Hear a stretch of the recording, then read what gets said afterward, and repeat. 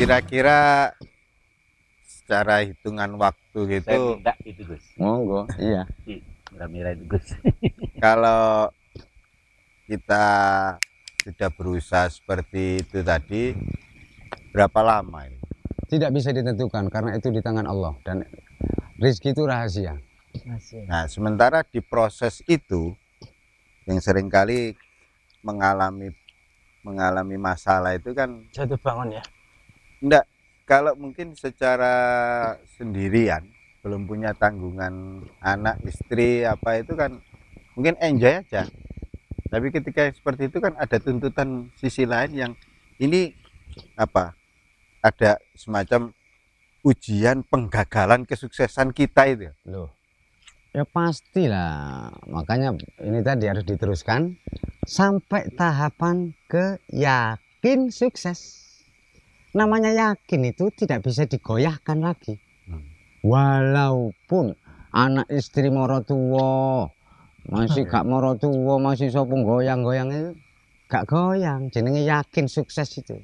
Bahkan badai sing kaya apa bentuknya anu jenenge yakin itu gak goyah. Hmm. Nah ini, ini kan belum tadi ini. belum Belum.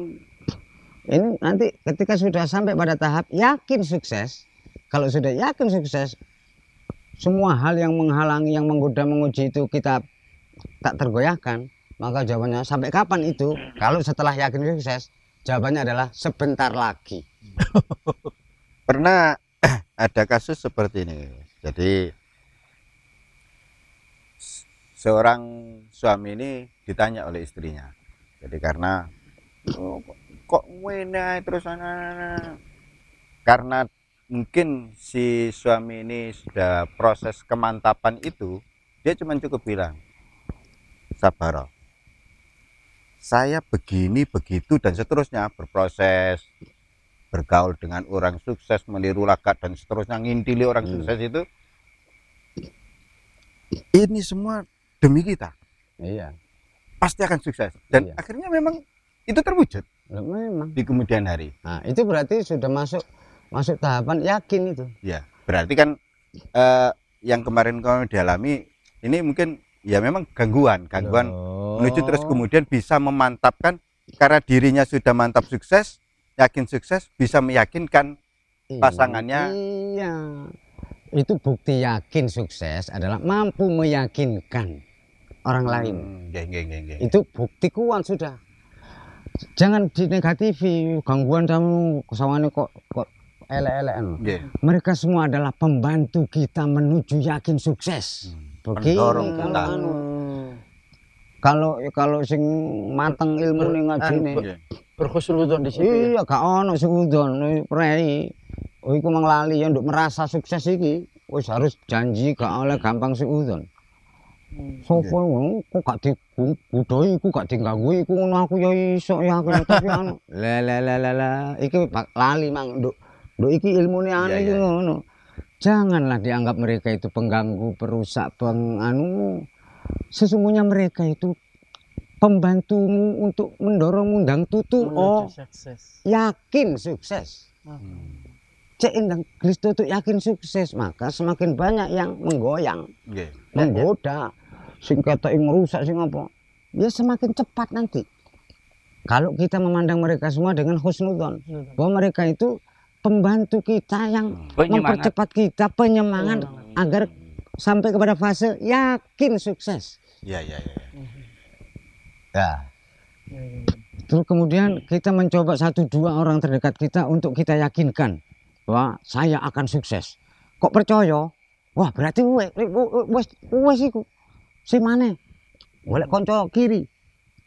Aku Ini. Kok percaya? Loh kuat iki. nggih. Jawabannya nek setelah fase itu sampai kapan begitu? Berapa lama? Sebentar lagi. ini bisa dipahami jadi ada di fenomena di sebagian masyarakat itu ada itu di tetangga itu guys jadi dia dulu waktu muda pingin sekali jadi angkatan ada yang satunya itu pingin sekali jadi polisi Iya. Kemudian olahraga dan sebagainya daftar nggak diterima jadi polisi Hmm. Nah, ini saya bisa memahami. Akhirnya dia menjadi polisi. Hmm. Artinya gaya polisi, Yalah. gaya polisi. Tapi tidak menjadi polisi beneran. Ini mungkin oh karena dia tidak bergaul, tidak berteman dengan polisi. Itu sa- Sehingga ya cuman prat-prit prat-prit prat-prit ya. Nang dalan. Iya. Nangge. Nah, berarti ya harus berteman. Tidak Iya. cukup tidak cukup hanya belajar tentang Tidak cukup. Nggih, nggih. Buku sak lemari, buku sukses terlalu banyak zaman sekarang. Nggih. Banyak referensi. Gantikan buku sak lemari itu, gantikan hanya dengan cukup satu orang yang memang sudah sukses betul. ya jelas-jelas sukses wis gak, gak katanya gak kira-kira anu. tebal buku sak lemari dengan syarat kita mengakui kemudian menghormati mencintai menuruti anu anu pokoknya ngakon dadekno guru lah anu. tebal buku sak lemari teori segudang itu dikalahkan oleh satu orang bisa kalian menerima ini Ya. Bisa, bisa. Nah, ini kan eh, bukti ini sudah kita kan harus praktek lapangan.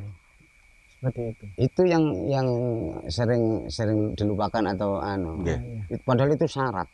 Namanya syarat itu nggak bisa ditinggal. Ya, kadang-kadang kan Itu kita itu malu syarat. Syaratnya yakin sukses.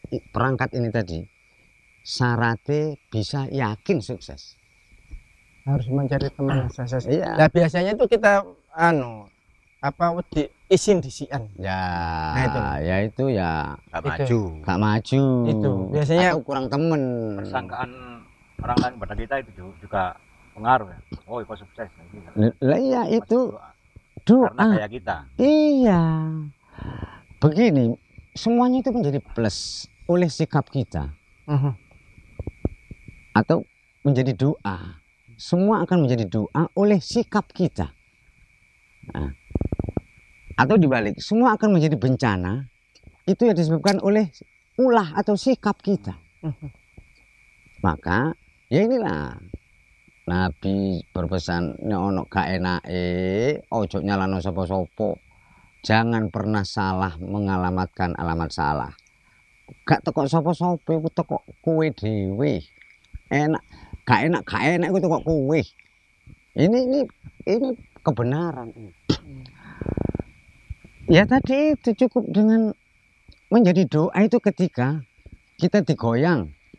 Allah dicibir disindir dicaci dimaki kita bisa sabar bisa tetap anu ya sabar anu. Maka itu menjadi kekuatan kita. Teman saya itu ada yang menyarankan saya itu awakmu lek kepengin sukses rong seno. Pul aru balungan opo balung Nah, ya seperti itu gimana Gus? Artinya saya memaknai dari pertanyaan Cak Rohi tadi, misalkan setelah saya melihat ada orang sukses, nah, ternyata secara karakter, secara apa ya, eh, kemampuan diri dan seterusnya ini bawaan bakat dan lain sebagainya itu dihitung nggak? Atau dihitung Hmm. Lah ya itu syaratnya harus berteman orang susah tadi cek ketularan Cek wataknya. ketularan wataknya. oh, akan jadi ketularan itu. Betul, betul, betul. hmm, balungannya akan ketularan Ngono balungan lho. oke ngono Mas. Oke. Ah, Iya, Jadi balungan sukses ya nyangkok. yang Oke. nyangkok. Ah. dia udah hilang bisa Ah, Iya. rong seni ku sering rong seni ku sering sowan nang gone wong sukses Iya. rong seni balungannya Iya, Iya. ganti balungan iku mang. Ganti balungan nih mau oleh wong sukses mengerti kowe iku nyeni balungan asu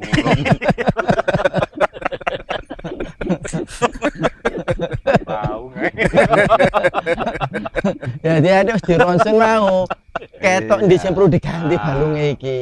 Diokulasi maksudnya. Hmm. Dicangkok, di diokulasi, disambung. Karo sing sukses. Lah ngoten lah. Sekarang coba pikirkan. Dibandingkan dengan membaca segudang buku tentang sukses. Iya. Iso anda no ganti balungan. Hah? Misalkan. Ini gak iso kertas kok. Ah, Wong kertas. Iya, kertas. Iya, wong kertas. Berteman dengan kertas. Tujuannya ono tujuan secara diam-diam tuh rahasia iku ganteni balungan kiri mang. Hmm. Ya gak iso nek gak uang. teori aja teori Hmm. hmm. Iso kabeh. pinter kabeh mahasiswa aja tingkat satu lho pinter nek teori tapi sing pinter teori ya pinter prakteki bukti nyatane ini yang dituntut nah kalau orang batik teori batik teori pokoknya wis setelah berproses pokoknya wis jadi sukses ya ya iku diguroni hmm. masuk masuk tujuannya tujuannya bongkar pasang bo- bongkar pasang balungan Tutup bukan pakai sama mari. Mm-mm. kalau kita punya kok dirangsungno maneh terus senang. Iya sih. Terus kalau punya sukses rek nak sekolah no cek. Gelar S1 atau Ah. sukses. Apa? Gimana? Ya kalau masuk masa belajar ya ya iyalah. Anu. Eh, Artinya kalau kita kuliah anak itu, itu kan kan mencari ilmunya, ilmu. ilmunya sukses juga. Iya. bagian dari supaya nanti tahapan merasa dan seterusnya untuk syarat syarat syarat yakin sukses itu kuat dan cepat. Enggak enggak kadang tadi contoh orang lain kalau SCG yo pancet nganggur awak dhewe SCG berapa SCG yo sukses Tapi beda cara bergaul. beda, anu. Artinya kan kalau kita itu katakan orang kuliahan ya, Hmm. intelektualitas intelektualitas kita kan beda dengan orang yang masih soge tapi lulusan SD sangat beda cara mereka bergaul. nah iya